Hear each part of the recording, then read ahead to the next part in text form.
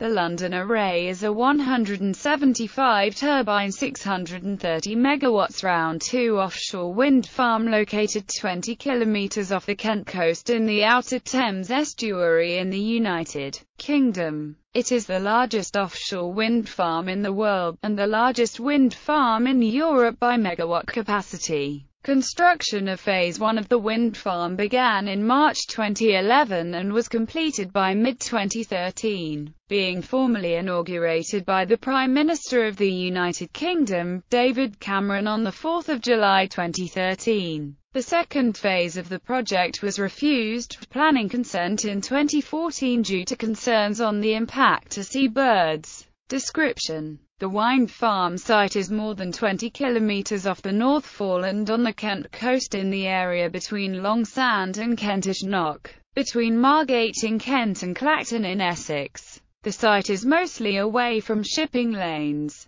The first phase consisted of 175 Siemens wind power SWT 3.6 turbines and two offshore substations giving a wind farm with a peak rated power of 630 megawatts. Each turbine and offshore substation is erected on a monopile foundation, and connected together by 210 kilometers of 33 kV array cables. The two offshore substations are connected to an onshore substation at Cleve Hill on the North Kent coast by four 150 kV subsea export cables. In total 220 kilometers. It is named after London because the power goes to the London grid. The smaller Thanet wind farm is to the south of it. The array is intended to reduce annual CO2 emissions by about 900,000 tons, equal to the emissions of 300,000 passenger cars.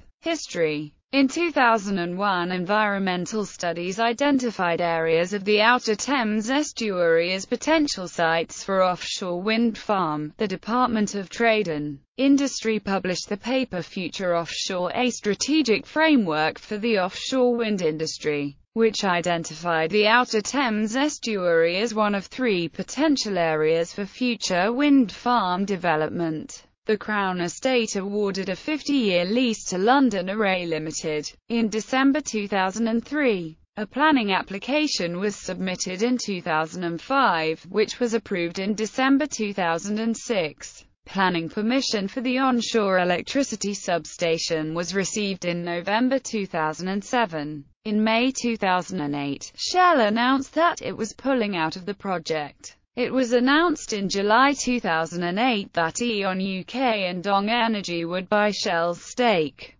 Subsequently on 16 October 2008, London Array announced the Abu Dhabi-based Masdar would join E.ON as a joint venture party in the scheme. Under the agreement, Masdar purchased 40% of E.ON's half share of the scheme, giving Masdar a 20% stake in the project overall. The resultant ownership was 50% Dong Energy, 30% E.ON UK Renewables and 20% Masdar. In March 2009, the backers agreed on an initial investment of 2.2 billion euros. Financing of Phase 1 was achieved through the European Investment Bank and the Danish Export Credit Fund with £250 million.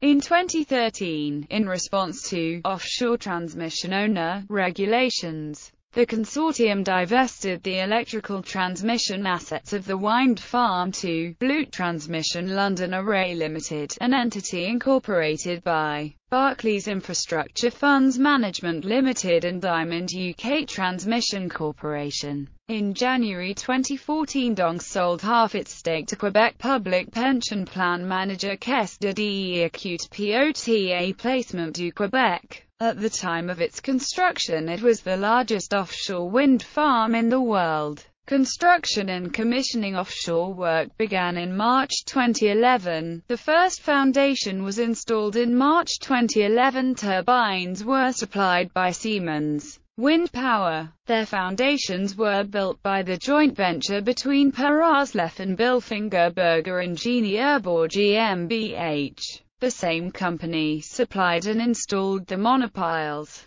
Generators were installed by MPI and A2SEA by using an installation vessel TIV MPI Adventure and a jack-up barge Seaworker. Two offshore substations were designed, fabricated and installed by Future Energy, a joint venture between Fabricom, Iemants and GOC, while electrical systems and onshore substation work was undertaken by Siemens Transmission and Distribution. The subsea export cable was supplied by Nexans and array cables by JDR Cable Systems. The array cables and the export cables were installed by VSMC. The wind farm started producing electricity at the end of October 2012. All 175 turbines of Phase 1 were confirmed fully operational on 8 April 2013, and the wind farm was formally inaugurated by the Prime Minister David Cameron on 4 July 2013. Phase 2A second phase was planned which would have seen a further 166 turbines installed to increase the capacity to 1,000 megawatts.